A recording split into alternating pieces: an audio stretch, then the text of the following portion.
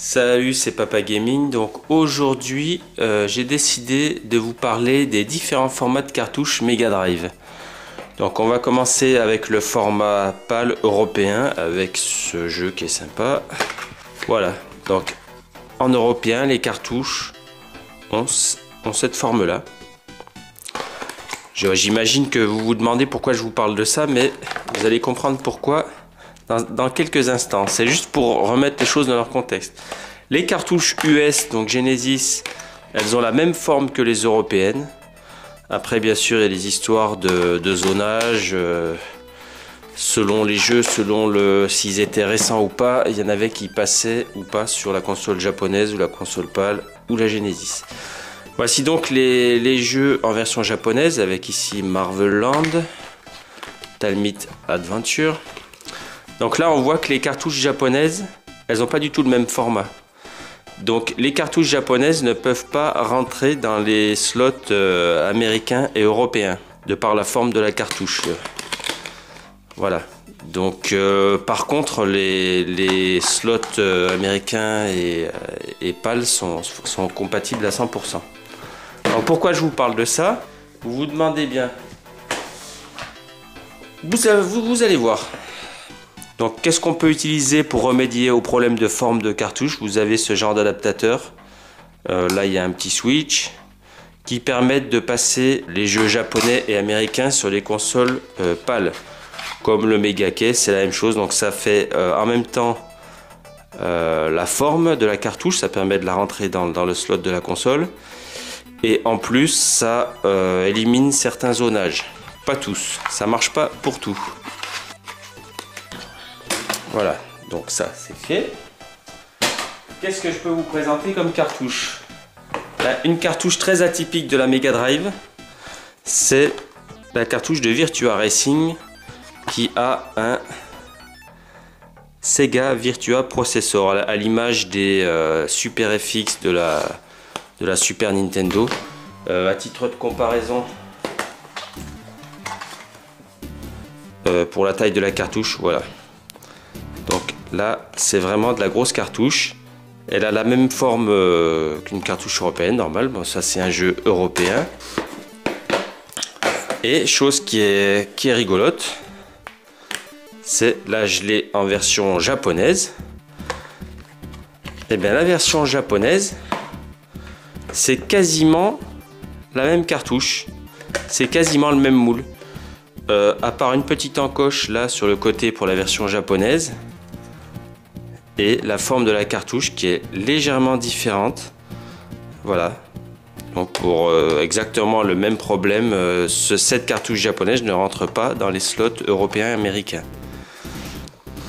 Voilà, donc euh, cartouche atypique. Je crois que c'est la seule à avoir le Sega Virtua Processor.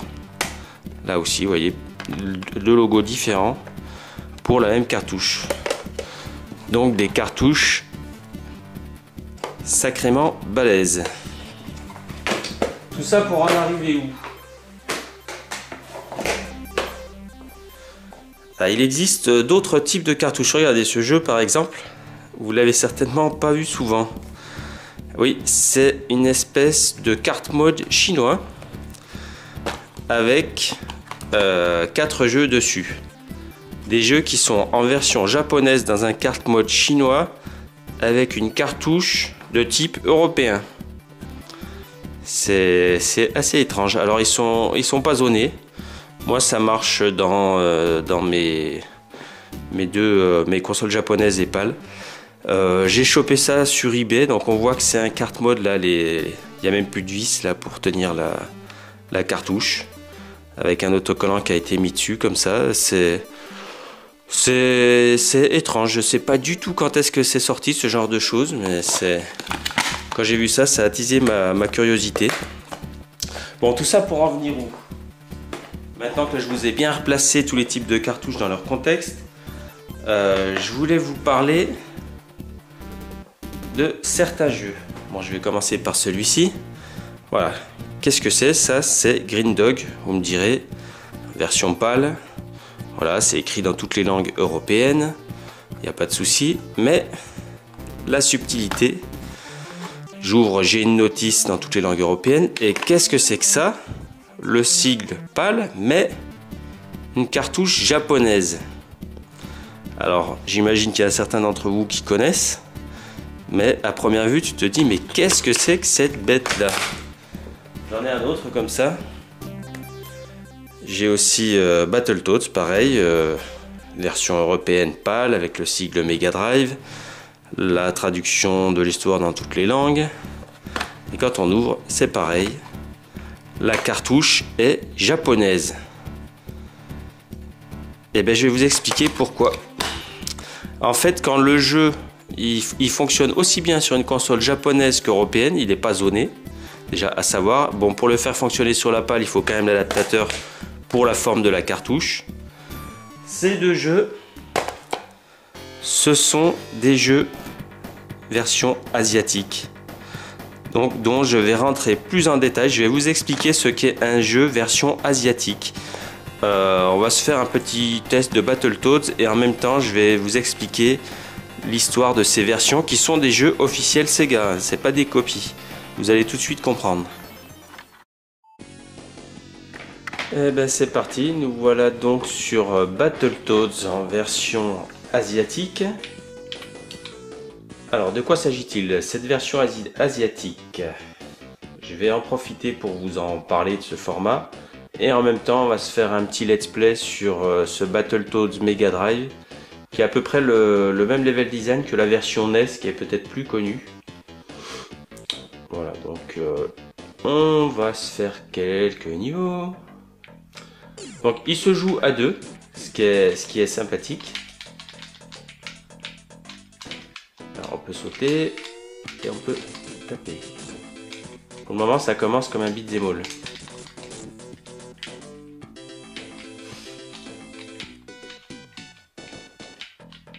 On peut courir aussi, foncer comme ça. Voilà, je, je me remets dans le dans la maniabilité.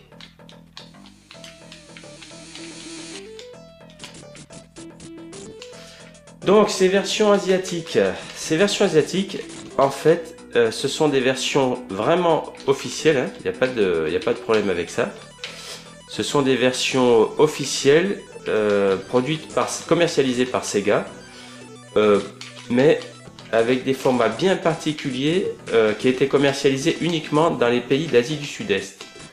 Alors c'était commercialisé à Hong Kong, à Taïwan, à Singapour, dans les Philippines et en Thaïlande. En réalité, euh, je ne sais pas pourquoi ils se sont pas contentés de sortir euh, les versions euh, purement japonaises dans ces pays-là. Je sais pas pourquoi il s'est passé ça, mais vous allez voir que c'est assez spécial. Et d'ailleurs, on sait pas trop pourquoi ils ont fait ça. Moi, j'ai pas... Ah, les mouches là, ce serait pas mal. Allez, les mouches, ça sert à reprendre de la vie si j'arrive à les... Voilà, j'ai pas réussi à les choper. C'est pas grave. Donc oui, donc sorti dans, ces petits pays asiatiques, euh, il est sorti trois types de formats en plus. Attention, accrochez-vous bien là. Euh, accrochez-vous bien. Donc il est sorti le, format que vous avez vu tout à l'heure, donc une boîte pâle avec le, sigle Mega Drive euh, européen. Donc la boîte pâle, la notice pâle avec une petite, un petit encart en, en chinois. Il y, a, une petite carte en chinois que je vous ai pas montré, mais là le japonais c'est difficile, mais le chinois c'est pire. Là si je m'étais bien démerdé pour euh, taper le, dragon, j'aurais pu euh, le chevaucher. Et il envoie des flammes, mais là j'ai fait le con, j'ai pas réussi. Donc je disais la boîte européenne, la notice européenne avec la traduction dans tous les pays européens et la cartouche euh, de format japonais mais à l'intérieur, c'est un jeu euh, pâle. Parce qu'il est, frisonné. En tout cas, il est frisone. Ce, ce Battletoads, il est frisone. Alors peut-être que si le jeu n'est pas frisone, ça sera, ça sera pas frisone. Ah voilà, là j'ai réussi à bouffer les mouches. Oui, parce que là on joue une grenouille. Hein, pour ceux qui n'auraient pas remarqué, euh, on joue une grenouille là. Alors là, c'est simple. Voilà, euh, je me fais tirer dessus et je dois attraper les boules et les envoyer dans la tronche du tireur. Voilà un, petit changement de gameplay. Euh, vous verrez que dans, dans ce jeu, euh, il y a vraiment des, des gameplays euh, assez variés en fait. Pas toujours heureux, mais en tout cas assez variés. normalement, je dois pouvoir arriver.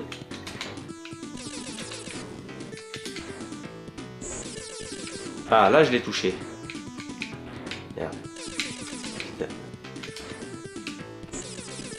Ah, il faut sauter en même temps, c'est ça que je faisais pas tout à l'heure. Ah Ma grenouille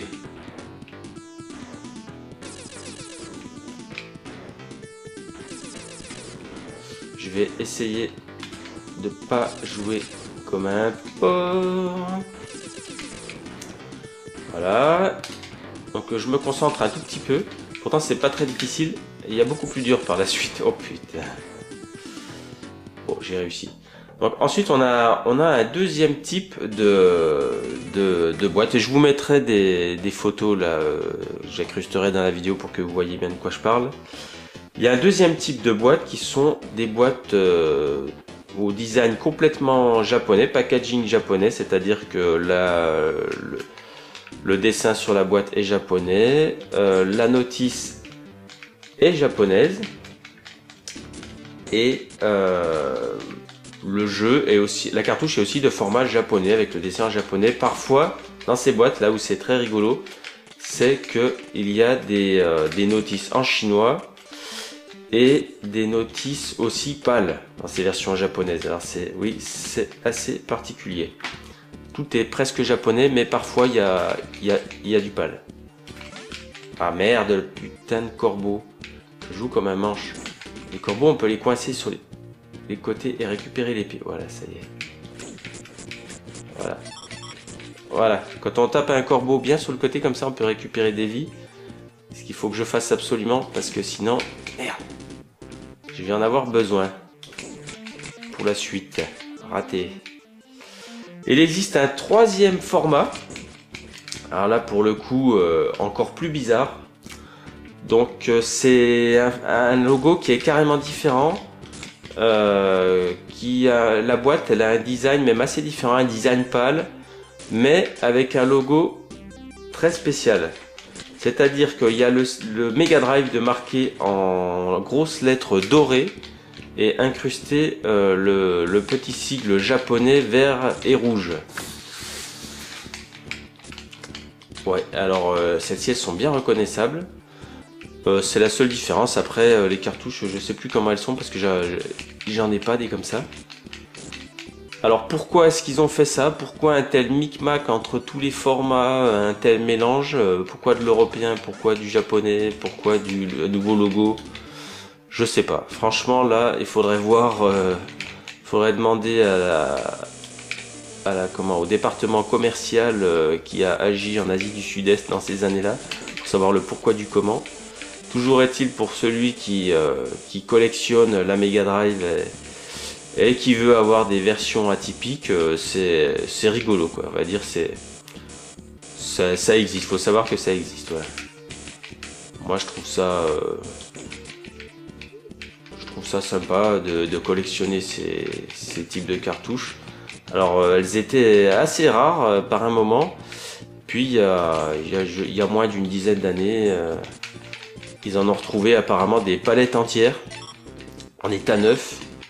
Euh, ce qui fait que euh, ça a inondé le marché par un moment. Après, là maintenant, elle commence à se faire un peu plus rare, mais ça doit dormir euh, dans, dans, les collections.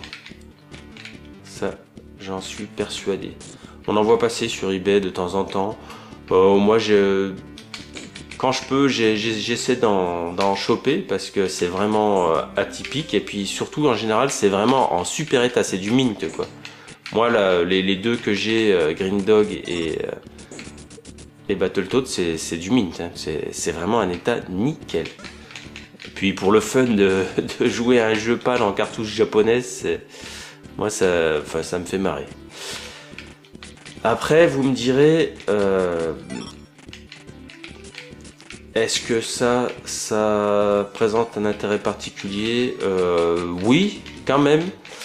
Euh, vous noterez que la vraie version pâle de Battletoads, par exemple, elle est, assez chère. hein. Maintenant, elle commence à coter bien dans les 50 euros. Alors que par exemple, ce Battletoads, moi j'ai dû le choper à moins de 10 euros.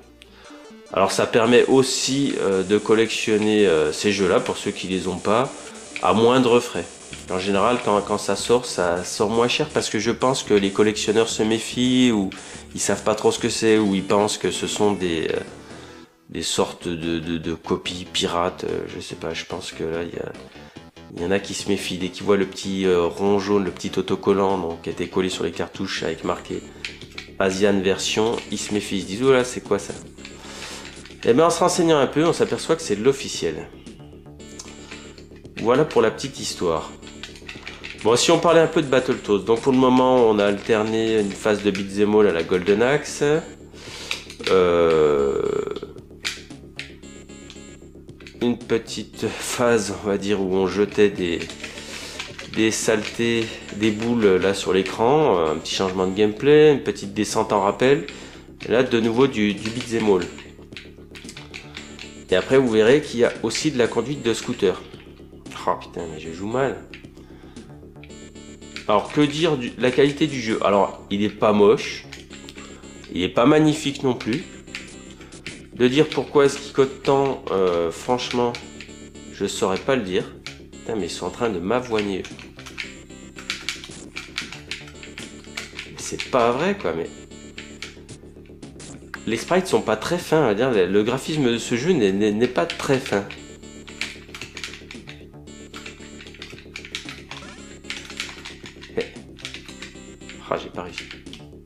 Ah, le nul. ah, mais c'est pas vrai.